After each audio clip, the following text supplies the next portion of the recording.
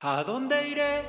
Lejos de tu aliento, ¿a dónde escaparé de tu mirada? Ahí estás tú, allí te encuentro.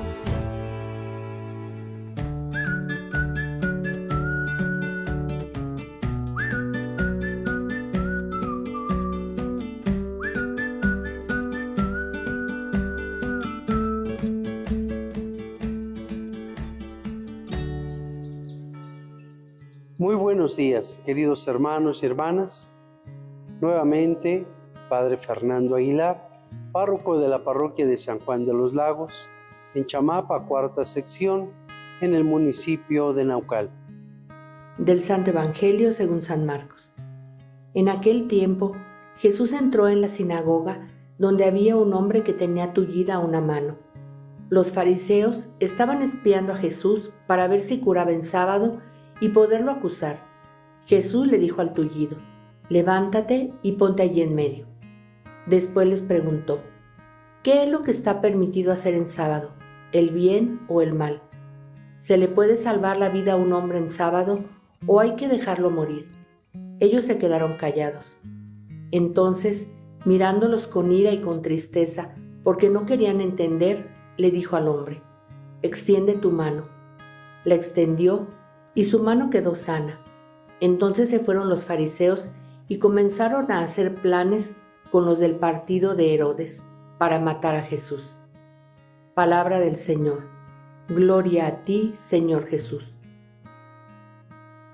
En esta ocasión continuamos compartiendo el Evangelio según San Marcos, en este encuentro que están teniendo los fariseos con Cristo. Encuentros nada cordiales, sino encuentros que van al acecho hacia la persona del Maestro. En esta ocasión acabamos de escuchar este pasaje en el que se nos presenta otra pregunta de los fariseos. En estos tres días hemos visto cómo los fariseos están constantemente interrogando el ser y el quehacer de la persona de Cristo. En esta ocasión, la pregunta, si le está permitido a un hombre curarlo en sábado, sí o no. Este tipo de preguntas que pueden llevar a Jesús, dependiendo de su respuesta, a una condenación por parte de ellos. Jesús hábilmente vuelve a poner al centro de los acontecimientos la vida de la persona humana. Jesús no va a responderles y les va, lo va a hacer con otra pregunta. ¿Se puede salvar o no? Jesús va a demostrar su poder. Lo pone al frente y en ese momento va a demostrar con palabras y obras que Él es el Mesías, que Él es enviado, que Él ha venido a curar, a hacer presente la misericordia de Dios para con los enfermos. Este hombre no esperaba que ese día su situación fuera a cambiar. Extiende tu mano, le dice el maestro. Y aquel hombre vuelve a ser creado por la palabra creadora de nuestro Señor. Esto, para estos personajes que lo acosan, nuevamente vuelve a ser un escándalo esclavos de las leyes, se escandalizan porque Jesús ha hecho una curación en sábado. A lo que el maestro vuelve a recordarnos, las leyes han sido puestas para el servicio del hombre y no el hombre para las leyes.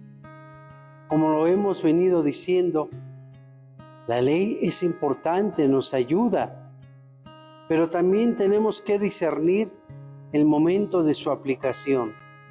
Salvar una vida o que se pierda. Es algo que hemos olvidado en la actualidad.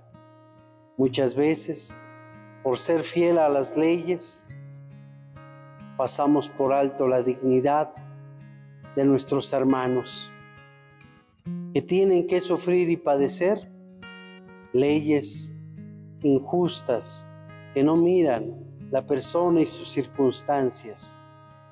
El maestro nuevamente nos da un criterio. Hay que salvarlo. Esto fue, juntamente con otras enseñanzas liberadoras, lo que trajo para él la decisión de los fariseos de matarlo.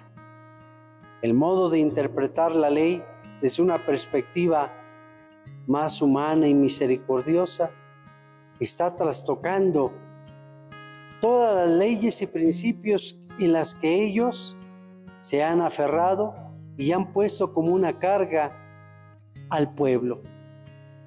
Han tomado la decisión de matarlo.